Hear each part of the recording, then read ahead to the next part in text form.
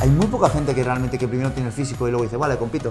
No, la medida dice, yo voy a competir. Tú, pero que, que- no, porque, porque sí, ¿cuándo? En mayo, en mayo, pues en una, en mayo competimos. Si estamos en, en, en, noviembre llego, vamos a ver, no tienes base, no tienes nada. Ni siquiera está bien con un físico bonito en tu vida, ni te lo plantees, porque hacer eso va a suponer para ti pues una- una locura.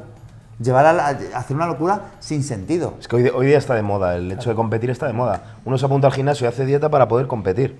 Antes era al revés, yo, yo no soy viejo, pero fíjate, hace cuestión de 8 años yo no me planteaba en mi vida competir. Yo, empecé, yo admiraba a los culturistas. Y con 20 años, que lo tenemos ahí al fondo, fue quien me animó a competir. José, fue el que me animó a competir. Me veía ahí entrenar, es verdad, en su gimnasio. Me dijo, oye, ¿por qué no te preparas? Y yo, yo no quería, yo al principio no quería. Oye, competí por primera vez, me salió bien la temporada y a partir de ahí sigue compitiendo. Pero yo nunca llevaba en mi mente el decir, me voy a preparar para competir. Yo quería seguir mejorando y yo lo veía muy lejos. Hoy día a mí me llega gente, mira, es que quiero, muchas chicas, quiero competir en tres meses. Vale, ¿cómo lo hago? No, pues es que esta toma tal, toma... Si da igual lo que tomes, no es cuestión de eso. Es falta de tiempo, falta Porque de madurez final, muscular, ahora- no tienes base. Ahora para competir lo único que hace falta tener es dinero. Para irte a un internacional. Luego ves al tío a, lo- a 200 los tres meses y ¿cómo está?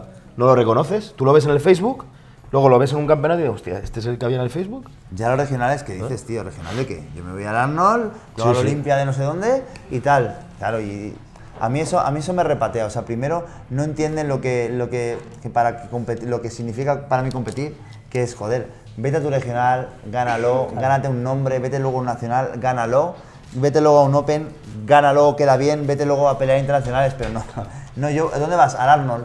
O sea, yo he visto mi- en mi gimnasio chavales que, que han competido por primera vez en el Arnold. y unas narices, y no uno. Para mí no se debe hacer así. Entonces tiene un proceso, eh, o gente que ha, que ha competido en un regional, ha quedado quinto, y año siguiente va directamente a nacional. Ya, Pero que, vamos a ver, que no has ganado el regional, tío.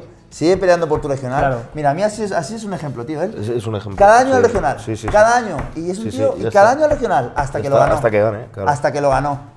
Siempre. Y luego, luego nacional, sí, luego tu nacional. Claro, y luego, si y cuando ganes tu nacional, pues ya. Claro, pero no, no voy al regional quedo, o no clasifico y luego me voy al nacional. A mí me ha pasado de gente de, de ir a un regional, quedar sexto, la semana siguiente ser el nacional y decirme, no, yo voy al nacional. No, no, tú no vas.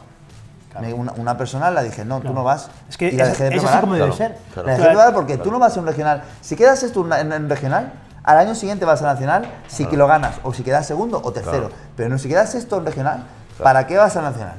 Para quedar La persona fuera. que te ayuda. Pero es que hoy día, no, pero digo más, un campeonato internacional tipo Arnold hoy día, al final no tiene valor, porque no hay nivel. O sea, al final un Arnold, tú vas a un interregional y, hostia, ves quizá en la categoría de culturismo más nivel que en, un- que en algunas de, de un Arnold. ¿A qué se Porque al final, Eso es un poquito relativo también. Vamos a ver, yo por ejemplo en un regional, ahora llegas a un regional y no, y no puedes competir. Yo el año pasado hice cinco competiciones de regional y en una de ellas sola como participé en mi categoría.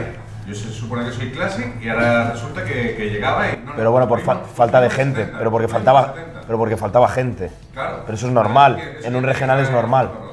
Entonces, eh, yo no puedo No, pero entonces- vida eh, compitiendo en culturismo de 70 siendo un classic porque nunca voy a ganar nada, siempre voy a quedar... Pero tendrías que salir tú solo en la categoría. Entonces tendrás que mirar un poquito más arriba y decir, coño, si hay un internacional en el que si, me- si hay un clase seguro o si hay un peso talla seguro y tengo allí gente para medirme de mi talla, voy a ir allí. Sí, a día de hoy pasa eso y es así ya. O por, sea, la gente va directamente a un internacional porque es donde más gente hay, más opciones hay de competir en tu categoría. Pero que yo recuerdo hace años un mundial era una pasada, un mundial de IFB, escúchame, como te seleccionasen para eso eras, tienes que estar Bueno, muy fuerte. Hoy, hoy en día y también hoy sigue día, siendo también. bueno, pero Los mundiales de IFB bueno. europeos suelen ser Bueno. muy selectivos porque hay un seleccionador. Donde no es tanto es en Arnold Classic, en un Diamond Cup, o ahí es donde tendría que haber una persona o un seleccionador que dijese, eh, a ver, ¿dónde vas? ¿Entiendes? De todas Digo, formas, una cosa es competir y otra cosa es participar en una competición. claro.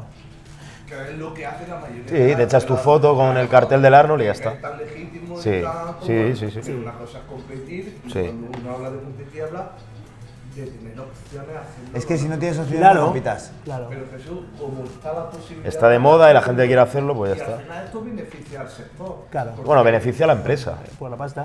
A ese chaval que le echan la foto no le beneficia porque se va a reír media, media redes sociales. El chaval que se echa la foto va a echarse la foto. Pero se van a reír de él. Porque no, es ni- no siente ni el culto Pero si vas a disfrutar, vas a disfrutar mucho más, vas a disfrutar mucho más. Si no, si no eres competitivo y no quieres competir, vas a, vas a En la disfrutar playa, mucho más te en vas a la playa. Estando de puta madre dos meses. Claro. que Claro, vas a disfrutar más. bien, la gente- cabeza La también. gente que compite está bien normalmente. Han, han sufrido tanto. Oscar, por ejemplo, cuando se pone en forma, Sí. le dura, la- le dura Un el, día de la competición y el día siguiente. Claro. A la semana ya no conoce a nadie. En cambio, si lo hace de otra manera, al final aguanta dos meses en forma. Así es. Eh, eh, eh, yo creo que es muy importante que, la- que el entorno, no me refiero a la gente, a los amigos, el que le ayuda o el preparador, eh, sepa inculcar al atleta el nivel que tiene y, la- y ver la realidad.